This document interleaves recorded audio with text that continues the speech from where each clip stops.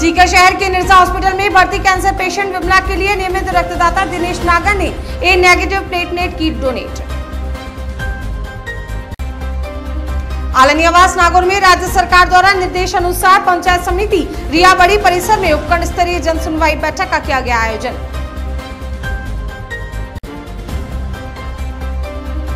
राज्यसभा सांसद डॉक्टर किरोड़ी लाल मीणा व आदिवासी समाज के साथ हो रहे अत्याचारों के संबंध में सौंपा गया ज्ञापन।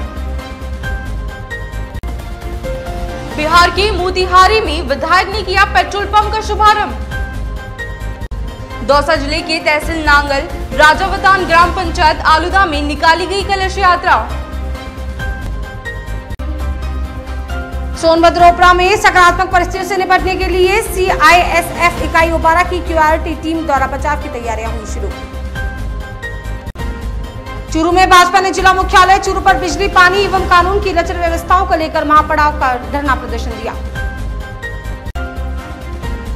सीकर में लॉन्स क्लब डायमंड द्वारा भीषण गर्मी को देखते हुए शुक्रवार को पक्षियों के लिए लगाए गए 50 परिंडे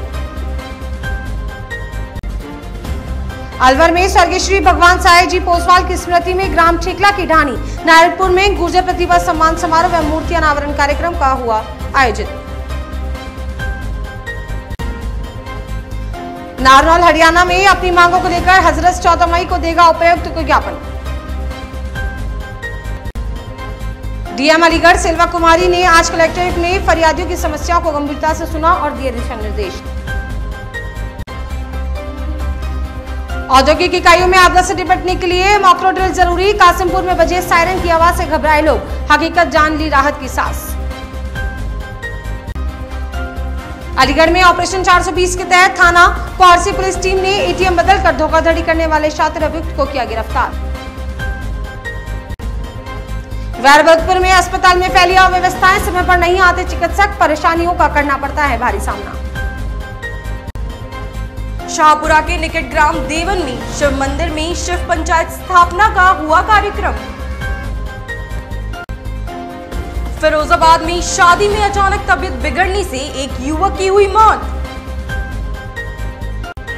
शाहपुरा के निकट मनोहरपुर कस्बे में कर्मचारी नेता किशनलाल पूनिया ने गर्मी में बेजुबान पक्षियों हेतु पानी की सुविधा के लिए बांधे परिंडे साथ ही पानी भरी अभियान की की शुरुआत।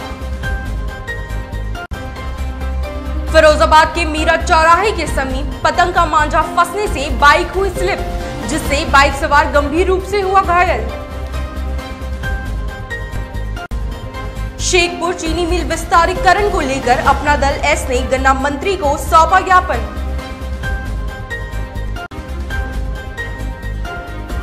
आबू रोड पर अंतर्राष्ट्रीय नर्स दिवस पर ब्रह्मा कुमारी संस्थान के ग्लोबल ऑडिटोरियम में 300 नर्सेज ने भाग लिया। साथ ही महान नर्सेज का सम्मान कार्यक्रम हुआ आयोजित। बरसाना थाने के थाना प्रभारी को वरिष्ठ पुलिस अधीक्षक मथुरा ने किया लाइन हाजिर। मथुरा में अपनी छह सूत्री मांगों को लेकर प्रधान संगठन ने जिला अधिकारी को सौंपा ज्ञापन।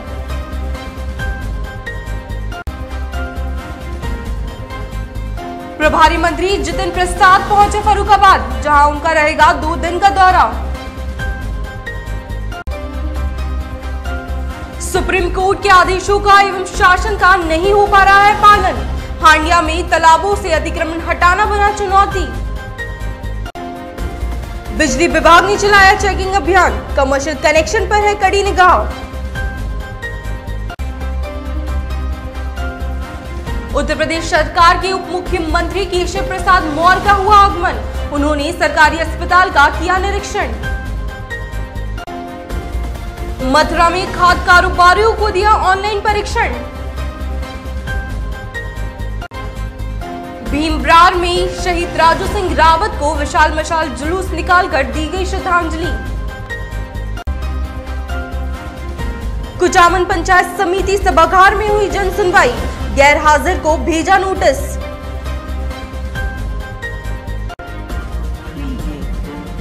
कांग्रेस नेता राहुल गांधी दिल्ली से चेतक एक्सप्रेस के ज़रिए राजस्थान के उदयपुर जाने के दौरान नीमका थाना डाबला रेलवे स्टेशन पर रुके।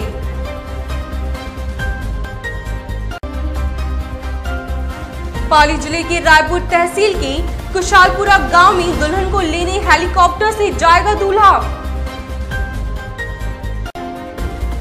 अजमेर में पर्यटन विकास समिति की बैठक का हुआ आयोजन। जयपुर के सांगानेर में हुआ रक्तदान शिविर का आयोजन। करेली थाना प्रभारी का बजरंग दल के कार्यकर्ताओं ने किया सम्मान। श्री श्याम मंडल द्वारा मनाया गया उनतीसवा वार्षिक उत्सव, साथ ही बाबा श्याम की निकाली गई भव्य शोभा यात्रा।